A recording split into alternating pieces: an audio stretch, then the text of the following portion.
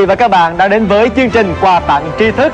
Chương trình do đài truyền hình Thành phố Hồ Chí Minh và công ty cổ phần Lasta phối hợp thực hiện. Thay mặt cho những người làm chương trình, chúng tôi xin cảm ơn Trung tâm Điện máy Idea đã giúp chúng tôi thực hiện chương trình này. Rất vui vì lại được gặp tất cả quý vị khán giả của chương trình quà tặng tri thức vào thứ tư và thứ sáu hàng tuần trên kênh HTV7 vào lúc 19 giờ. À, Phượng ơi, hôm nay anh có một thông tin rất là lý thú nha. Anh vừa biết được rằng các nhà khoa học Nga đã nghiên cứu và chế tạo ra chiếc vali thông minh đầu tiên trên thế giới đó. Ừ, chiếc vali thông minh có nghĩa là nó biết nghe lời chủ nhân hay sao? À, à, chưa đâu, chưa thông minh tới cái mức mà có thể gọi dạ bảo vân hoặc là bảo gì làm nấy đâu. Nhưng mà ít ra nó cũng biết là di chuyển theo chủ nhân của mình đó. Ừ, nếu mà như thế thì nó quả là một vật dụng rất là tiện lợi cho những khách du lịch đúng không anh Nghĩa? Đúng đó Hồng Phượng. Ừ, vậy thì nó hoạt động về cơ chế như thế nào? À, chiếc vali này có gắn các cảm biến siêu âm và cảm biến hồng ngoại để có thể phát hiện ra chướng ngại vật và định vị. À, chiếc vali sẽ giữ liên lạc với chủ nhân thông qua một cái card điện tử mỗi khi mà gặp sự cố. Nó còn có một phần giảm chấn và đèn báo khi di chuyển và theo các nhà nghiên cứu thì chiếc vali này nguồn điện mà cung cấp cho nó đó có thể được sạc thông thường hoặc là có thể tự sạc thông qua sự di chuyển của các bánh xe. Ừ, rất là thú vị. Vậy thì giá của chiếc vali này như thế nào? Có mắc hay không? Chiếc vali này có giá khoảng 2.000 đô thôi à. 2.000 đô hả? Ơi, một chiếc vali mà tới 2.000 đô lận ừ, Nhưng mà nếu mà nghĩ lại thì đối với những người có khả năng kinh tế Thì đây quả là một vật dụng rất là tiện lợi đúng không? Và hy vọng rằng là các nhà nghiên cứu sẽ ngày càng khám phá ra thêm nhiều vật dụng mới nữa Để cuộc sống của chúng ta sẽ càng thư thả và tốt đẹp hơn Đúng rồi. À, còn bây giờ thì xin mời tất cả quý vị và các bạn chúng ta hãy cùng quay trở lại với chương trình ngày hôm nay. Chương trình quà tặng tri thức gồm có tất cả 3 vòng thi dành cho 50 người tham gia chơi tại phim trường. Bên cạnh đó, chúng tôi vẫn kết nối trực tiếp với quý vị khán giả đang theo dõi chương trình ngay tại nhà qua số điện thoại của tổng đài 1900 1747 hoặc số điện thoại 08 910 66 Ngoài ra, tất cả quý vị khán giả cũng có thể gửi tin nhắn về cho chương trình qua số điện thoại 8383 với nội dung tin nhắn như sau. QTTT là viết tắt của quà tặng tri thức, khoảng trắng số điện thoại bàn cộng với mã vùng và 12 cô điện thoại viên của chúng tôi đang ngồi ở đây sẽ ghi lại tất cả những số điện thoại của quý vị gấp lại cẩn thận và bỏ vào trong lòng cầu này. Và Hồng Phượng và Đại Nghĩa trong mỗi chương trình sẽ phải làm công việc hết sức quen thuộc của mình đó là xoay đều lòng cầu đảo đều tất cả lá thăm lên và chọn lấy một lá và trên mỗi lá thăm sẽ có một số điện thoại của quý vị khán giả gọi điện đến tham gia chương trình. Chúng ta hãy cùng chờ xem trong ngày hôm nay ai sẽ là những người may mắn nhận phần quà của chương trình nha. Còn ngay bây giờ tất cả chúng ta hãy cùng đến với trường quay gặp gỡ với anh Quách Hồ Ninh cùng với 50 người chơi. Xin mời.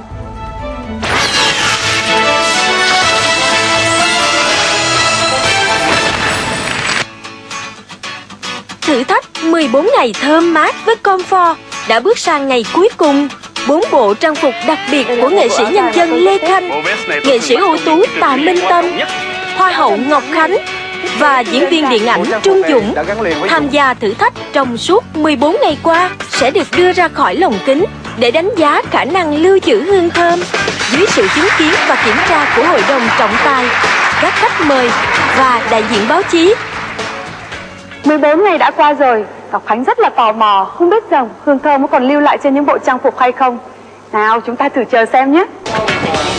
Các bộ trang phục sau khi đưa ra khỏi lồng kính đã được hội đồng trọng tài và các khách mời tiến hành kiểm nghiệm. Với tư cách là một người tiêu dùng bình thường, hôm nay Khánh hết sức thú vị khi thấy các bộ trang phục được lấy ra sau 14 ngày mà vẫn còn thơm mát. Và những bộ trang phục này được may bằng những vải hết sức thông thường. Chính vì thế mà từ nay Khánh hoàn toàn yên tâm. Bởi vì nếu dùng comfort tại nhà thì quần áo của cả gia đình sẽ được thơm mát trong vòng 14 ngày. Quy trình thử nghiệm nghiêm túc và khách quan đã mang lại những kết quả đánh giá thật ấn tượng. Từ góc độ của một chuyên gia, tôi nhận thấy hương thơm Comfort vẫn còn lưu lại bền lâu trên các bộ trang phục sau 14 ngày. Được biết, Comfort đang sử dụng công nghệ hạt lưu hương là một công nghệ lưu giữ hương thơm tiên tiến trên thế giới, giúp tăng cường khả năng lưu giữ hương thơm trên quần áo. Chúc mừng Comfort đã chiến thắng thử thách khó khăn này khả năng lưu giữ hương thơm mát đến tận 14 ngày của Comfort đã được chứng minh sau thử thách với trang phục đặc biệt của các nghệ sĩ. Vượt qua thử thách này, các bộ trang phục sẽ được sử dụng để cây quỹ, tặng áo ấm cho trẻ em ở các tỉnh vùng sâu vùng xa trong mùa đông sắp tới.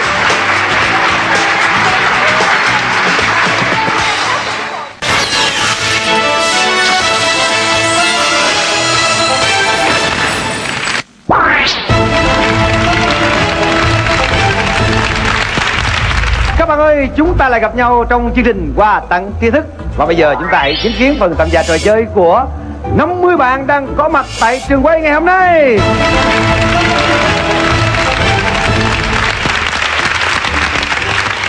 À, xin chào mừng tất cả các bạn và xin chúc các bạn may mắn. À, trước khi đọc câu hỏi của vòng một này, à, tôi xin nhắc các bạn về cách thức tham gia trò chơi. Đến với quà tặng tri thức chúng ta có tất cả là ba vòng. Mỗi vòng các bạn sẽ trả lời một câu hỏi. Kết thúc ba vòng. Nếu bạn nào trả lời đầy đủ cả ba câu hỏi, thì các bạn sẽ nhận được phần thưởng là 15 triệu đồng. Điều quan trọng là chúng ta chỉ có 10 giây suy nghĩ và 3 giây để lựa chọn đáp án thôi. Các bạn thao tác cho thật là nhanh nha. Bây giờ thì à, tôi đi vào nội dung câu hỏi ở vòng 1 này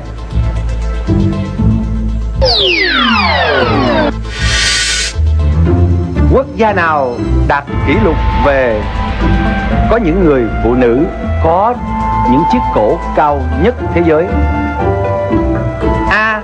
Trung Quốc B. Myanmar C. Hàn Quốc và D. Canada 10 giây suy nghĩ, bắt đầu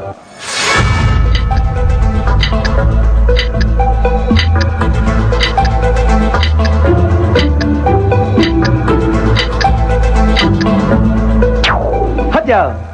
Và bây giờ là thời gian 3 giây để các bạn quyết định xem nên chọn phím nào A, B, C hay là D. 3 giây bắt đầu.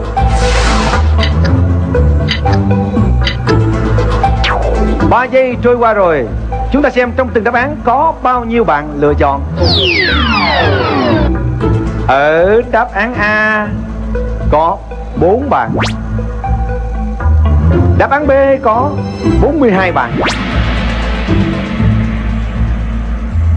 Đáp án C có một bạn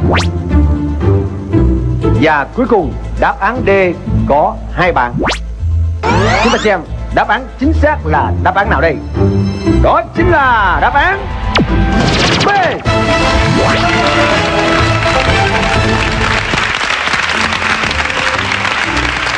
Thưa quý vị, Myanmar là quốc gia đạt kỷ lục có những người phụ nữ có chiếc cổ cao nhất hay còn gọi là phụ nữ thu cao cổ thuộc bộ tộc Ba Đông. Để đạt được độ dài 25 hoặc 30 cm từ nhỏ họ đã phải đeo quanh cổ những chiếc vòng. Chúc mừng 42 bạn đã chọn đáp án B. Các bạn được bước tiếp vào vòng trong. Còn bây giờ thì chúng ta hãy dành thời gian cho những khán giả đang xem truyền hình tại nhà Cùng tham gia trò chơi quà tặng tri thức với chúng ta. Nào, xin mời!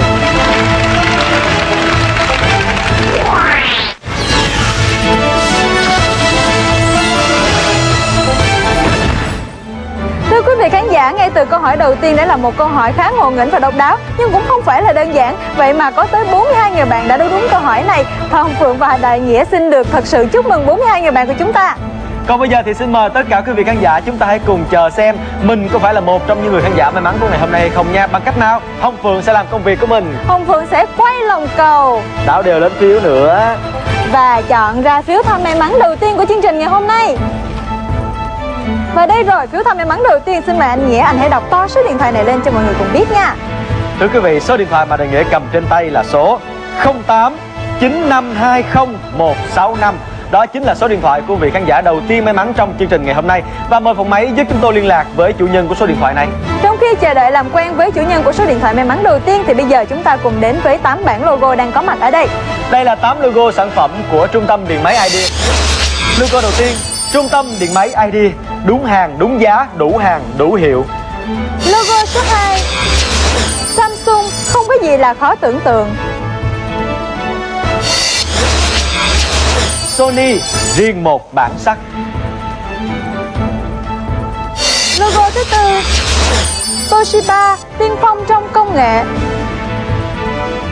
Logo thứ năm, Hitachi, cảm hứng tương lai.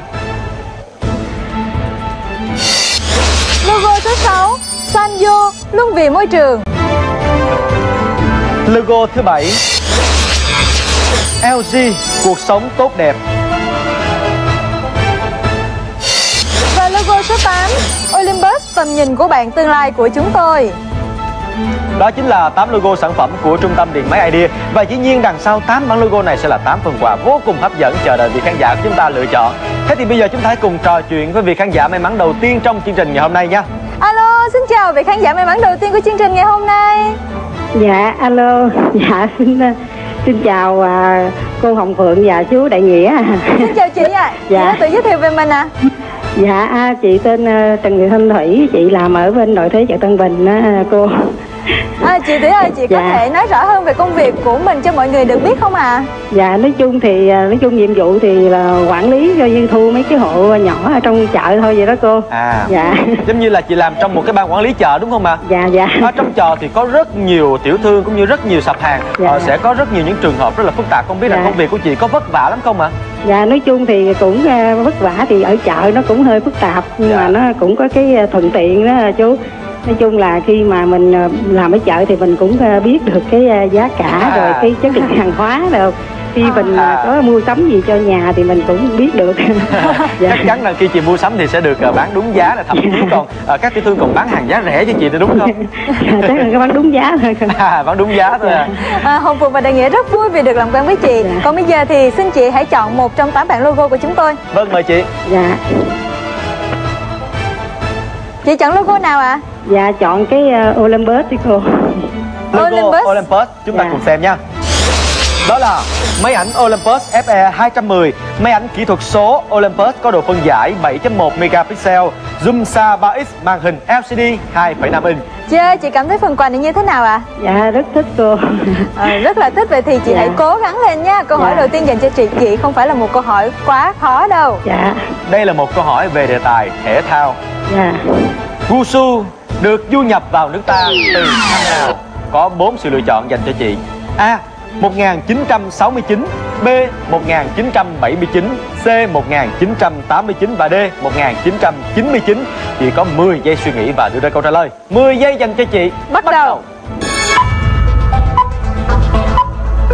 Nhanh lên chị ơi. Dạ đoán câu D đi cô 1999. Chị có thể thay đổi đáp án.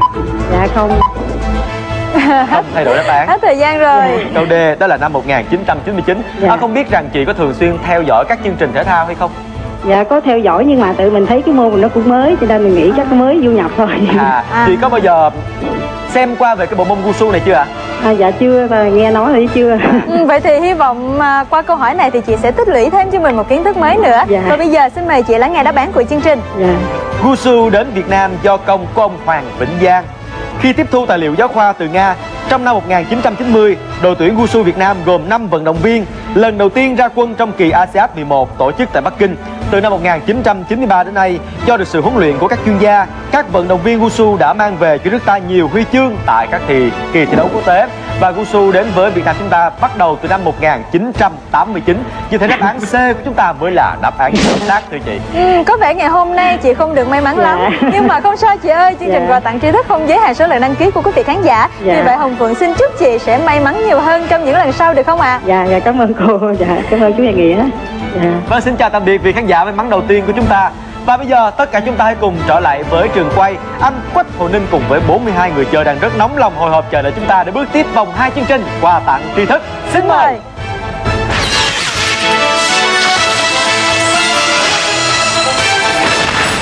Thiên nhiên thơ mộng, thế giới nước trong xanh, 26 trò chơi độc đáo và một hồ tạo sóng xanh mát cùng 2.000 phần quà trong 3 ngày 18, 19, 20 tháng 11 Tất cả sẽ đem đến cho bạn một ngày nghỉ thú vị tại công viên nước Đầm Sen.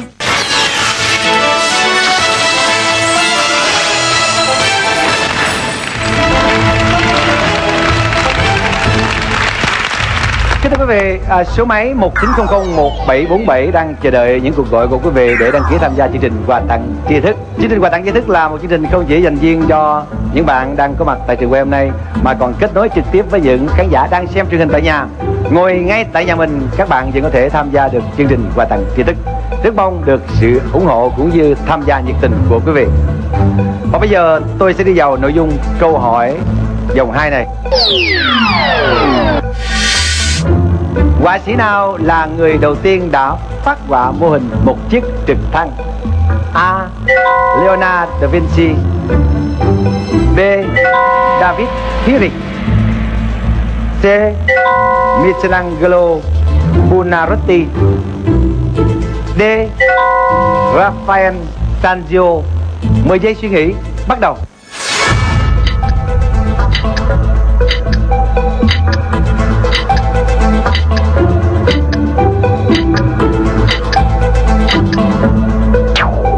Hết giờ Và bây giờ là thời gian 3 giây để các bạn lựa chọn đáp án 3 giây bắt đầu ba giây đã trôi qua rồi, chúng ta xem trong từng đáp án có bao nhiêu bạn lựa chọn. Ở đáp án A có 29 bạn. Đáp án B có hai bạn. Đáp án C có 7 bạn. Đáp án cuối cùng, đáp án D có hai bạn ở câu hỏi này thì có hai bạn đã chọn đáp án sau thời gian 3 giây cho nên là máy tính đã không ghi nhận câu trả lời của bạn. Rất tiếc phải nói lời chia tay với bạn từ bây giờ. Đáp án chính xác của câu hỏi này đó chính là đáp án A.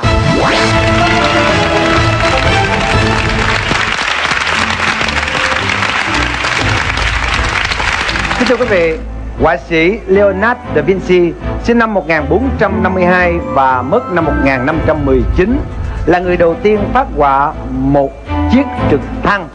Xin chúc mừng 29 bạn đã chọn đáp án A.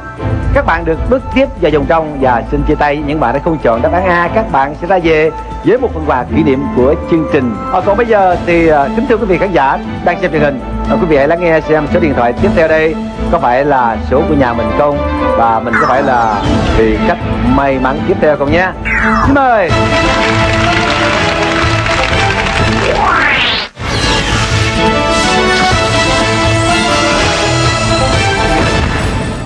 Chào mừng quý vị khán giả đã quay trở lại với phim trường A2 cùng với Đại Nghĩa và Hồng Phượng để tiếp tục tìm xem vị khán giả nào sẽ là người may mắn tiếp theo trong chương trình ngày hôm nay. Vậy thì anh Nghĩa ơi hãy làm ngay nhiệm vụ của mình Quay lòng cờ và đã đều tất cả những lá thăm lên Để chia đều may mắn cho tất cả quý vị khán giả. Anh phải lấy những lá thăm ở tuốt dưới đáy lòng cầu Hồng Phượng ơi. Bởi vì có rất nhiều khán giả nói rằng Tại sao anh em mình cứ hay lựa chọn những lá thăm phía trên Mà không lấy những lá thăm phía dưới?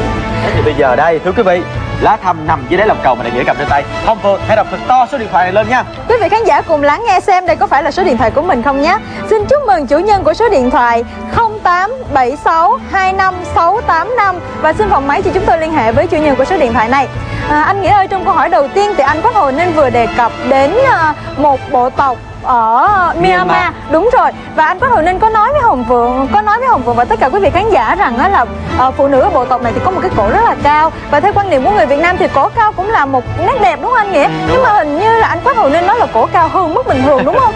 À, Thưa quý vị đến giờ Hồng Phượng cứ theo đại nghĩa và thắc mắc mãi về vấn đề này. Thật ra thì đối với người Việt Nam chúng ta quan niệm rằng người phụ nữ cổ cao thì rất là sang trọng, rất là quý phái Chẳng hạn như là người ta nói cổ em cao, tay mình ngón thiên thần vân vân đúng không? Còn ở đây, đây là bộ tộc của một đất nước Myanmar thì đối với họ đây chính là một nét đẹp của họ. Có thể chúng ta không thấy đẹp nhưng mà đối với họ thì đẹp thì sao? ừ. Đừng thắc mắc nữa nha. Ừ, thật là lý thú. À, và bây giờ thì chúng ta sẽ cùng làm quen với vị khán giả may mắn thứ hai của chương trình. Alo xin chào ạ. Chào em, Xin chào chị ạ. Chị hãy giới thiệu về mình đi nào. À chị tên Cao Thị Chi Yến. Chị Yến à, Không biết rằng hiện nay chị đang sinh sống ở đâu và công việc hiện tại của chị là gì? À chị buôn bán nhỏ em.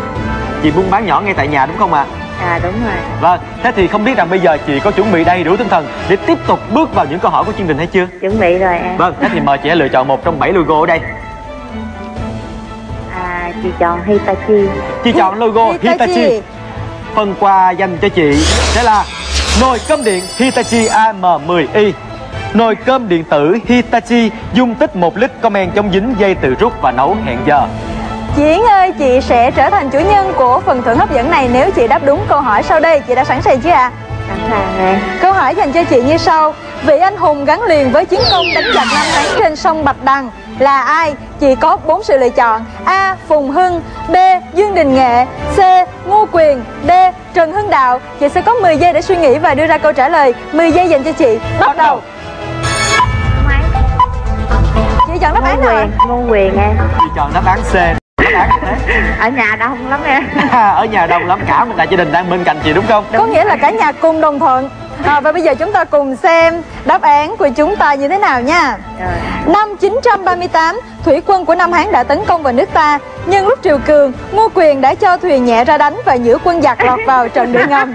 Vâng, khi thủy triều xuống mạnh, trận địa cầu ngầm nổi lên, quân Nam Hán không thoát được nên bị tiêu diệt toàn bộ. Và chiến công này đã được ghi danh anh hùng Ngô Quyền, người đầu tiên dựa vào điều kiện tự nhiên mà vẫn chiến thắng giặc ngoại xâm. Thế thì chúng tôi phải nói rằng xin chúc mừng chị À, Vừa nãy em có nghe không? Chị khán giả của chúng ta cười rất là vui trong điện thoại. Chị ơi, bây giờ chung quanh chị mọi người nói những gì ạ? mừng lắm em. Mừng Vui quá, quá, mọi người đều xúc động không biết nói gì cả. Và khi nhận cảm được ơn phần quà này cảm chắc chắn là có sự giúp ích của tất cả mọi người. Chính vì thế ngay sau buổi tối hôm nay Chị hãy làm một bữa cơm thật ngon Để đãi tất cả mọi người cùng ăn nhé. Rồi cảm Xin cảm ơn chị. cảm ơn hai em nhiều nhé. Vâng, xin chào cảm tạm ơn biệt chị. Quý vị khán giả thân mến, còn ngay bây giờ mời tất cả quý vị hãy cùng trở lại với phim trường cùng gặp gỡ với anh Quách Hội Ninh cùng với 29 người chơi bước tiếp vào vòng trong của chương trình quà tặng tri thức. Xin mời.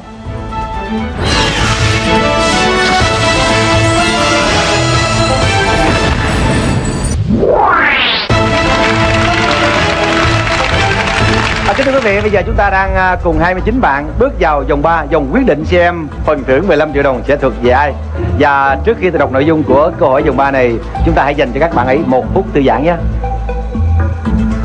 Kính thưa quý vị, và câu chuyện của chúng ta sẽ được bắt đầu với người bạn ngồi ở máy số 6. Xin chào bạn, bạn có thể giới thiệu về mình. Dạ em xin chào anh Ninh và chào tất cả các bạn đang có mặt tại trường quay. Dạ em tên là Đinh Văn Tú đang là sinh viên năm thứ hai của trường Cao đẳng Công nghệ và Quản trị Doanh nghiệp. Thông tin từ đâu mà bạn biết đến chương trình à, quà tặng tri thức và bạn đăng ký tham gia? À, dạ em có được một, một người bạn à, hướng dẫn cho cách chơi và em cũng có xem qua chương trình và em đã đến đăng ký chương trình ở câu lạc bộ Hoa Lư. Bây giờ thì à, tôi xin được nói chuyện với người bạn ở máy số 5. Xin chào bạn. Chào Hồ Ninh, Bạn tên là gì? em tên là Diệp Lâm Kha Tú. Bạn à, còn đi học hay là đã đi công tác ở một cơ quan nào rồi? Dạ, hiện nay em đang công tác tại Ủy ban dân thị trấn Lấy Thiêu. Lái thiêu tôi nhớ ngày xưa là một nơi mà có hoa quả trái cây à, rất là sum xê mọi người à, thường à, rủ nhau về đó à, nghỉ mát và ăn trái cây. Thế bây giờ lái thiêu có còn à, được như xưa nữa không? Trái cây nó còn sum xê à, cái ừ, hoa lá nó còn xanh tươi như ngày xưa nữa không? Dạ anh ờ, Hồ Ninh, uh, vườn trái cây Lấy Thiêu hiện nay vẫn còn. mỗi lần mà có cái gì đặc biệt trong năm chẳng hạn như là à, sinh nhật nè lễ tình nhân hay là noel thì bạn thường tặng cho người yêu của mình món quà gì? Em đang yêu là hoa hồng. Hoa hồng. Bởi vì hoa hồng tượng trưng cho tình yêu đúng không nào? Có khi nào bạn tặng hoa khác không? Dạ chắc không. à, không đúng không nào? Thế thì còn người yêu tặng ngược lại bạn cái gì? Người yêu thì không có tặng gì hết. à sao vậy tại sao mà mình tặng cho người yêu mà người yêu không có tặng lại? Cô ấy nhát quá hay sao? Tại vì ờ, cô ấy chỉ muốn mình tặng thôi chứ không muốn tặng ngược lại. đó là chuyện bạn tặng quà cho người yêu bạn và người yêu tặng ngược lại. Còn bây giờ tôi sẽ kể cho các bạn nghe một người đàn ông à, đi mua quà tặng cho người yêu của người người vợ của mình. À, có một người đàn ông đến một tiệm bán hoa để mua hoa tặng cho vợ mình nhân dịp sinh nhật của bà ấy. Thì à, à, người đàn ông đến nói à, với người chủ tiệm là thế này nè. Ông chủ ơi ông bán cho tôi một cái hoa nào mà chỉ có cành thôi không có hoa. Thế thì à, ông chủ tiệm mới ngạc nhiên hỏi sao ông tàn nhẫn thế? Ông tặng vợ một cái hoa mà chỉ có cành không có hoa thôi à? Thế thì ông kia mới nói là anh không biết hoàn cảnh tôi anh không thông cảm được đâu. Bởi vì sinh nhật của tôi bà ấy đã tặng cho tôi một cái chai mà không có rượu. Vì thế hôm nay tôi trả đũa bằng bà ấy bằng cách là tôi mua một cái hoa mà không có hoa chỉ có cành thôi. Đấy, ông rằng à, những người đàn ông của chúng ta khi mà tặng à, quà cho người yêu như cho vợ mình đừng có trả đũa kiểu đó thì rất là phiền đúng không nào? À, bây giờ thì à, sau giây phút thư giãn, chúng ta sẽ đi vào nội dung câu hỏi. Vòng cuối cùng này. Oxford là trường đại học nổi tiếng của Anh, được đặt tên theo tên của A, một thành phố, B, một kiến trúc sư D một nhà điêu khắc và D, một người sáng lập. 10 giây suy nghĩ, bắt đầu.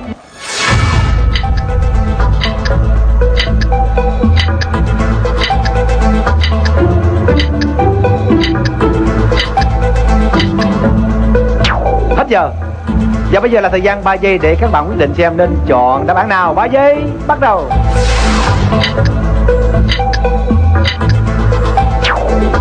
3 giây đã trôi qua rồi và chúng ta xem trong từng đáp án có bao nhiêu bạn lựa chọn. Đáp án A có 15 bạn. Đáp án B có 6 bạn. Đáp án C có 4 bạn. Đáp án D cũng có 4 bạn. Để xem. 4 người hay 6 người hay là 15 người được sở hữu phần thưởng 15 triệu đồng đây Đáp án chính xác của chúng ta ở câu hỏi này đó chính là đáp án A.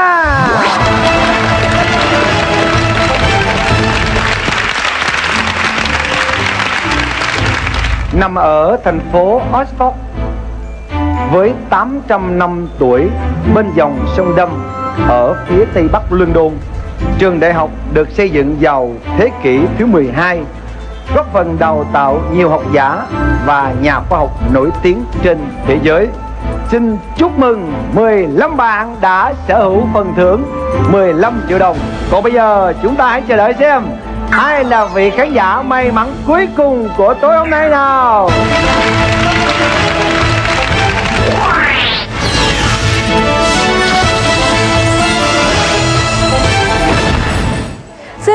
15 người bạn đã trở thành chủ nhân của phần thưởng 15 triệu đồng. 15 và 15 Thật là trùng hợp đúng không anh Nghĩa? Rất là đều đặn cho tất cả 15 người. Còn ngay bây giờ thì chúng ta hãy cùng tìm xem vị khán giả nào là người may mắn cuối cùng trong chương trình quà tặng tri thức ngày hôm nay. Hồng Phượng sẽ chọn ngay ra phiếu thăm may mắn thứ ba của chương trình ngày hôm nay Và chúng ta hãy cùng xem ai sẽ là chủ nhân của số điện thoại may mắn này đây. Và đây rồi phiếu thăm may mắn cuối cùng của chương trình ngày hôm nay.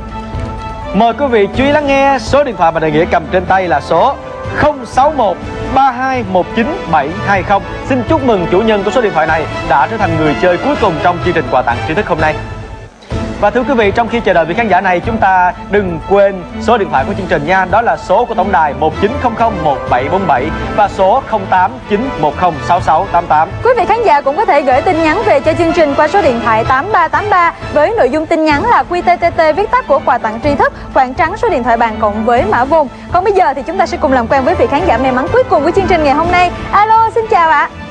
Alo, chào anh Đại Nghĩa và chị Hồng Phượng à. Alo, xin chào anh, anh hãy tự giới thiệu về mình nào. Dạ, tôi tên là Vương Quảng Sáng. Dạ, xin chào anh Sáng. Công việc của anh hiện giờ là gì ạ? À, dạ, làm nông à. À, à, không biết rằng anh đang ở đâu ạ? À? Ở Đồng Nai. À, anh ở Đồng Nai. Và bây giờ thì mời anh hãy lựa chọn một trong những logo còn lại của chúng tôi để tìm xem phần quà dành cho anh sẽ là gì. Dạ, bạn uh, Samsung à. Samsung Đằng sau logo Samsung đó là TV Samsung 21M17 TV Samsung màn hình siêu phẳng 21 inch Có hệ thống loa hai lớp, bộ giảm nhiệu, kỹ thuật số âm thanh stereo trung thực Đó là phần quà sẽ dành cho anh nếu anh trả lời đúng câu hỏi của chương trình Và câu hỏi dành cho anh như sau Quốc gia nào xuất khẩu cá cảnh lớn nhất thế giới có 4 sự lựa chọn cho anh A. Việt Nam B. Singapore C. Thái Lan và D. Trung Quốc Anh có 10 giây suy nghĩ và đưa ra câu trả lời 10 giây bắt đầu Nhanh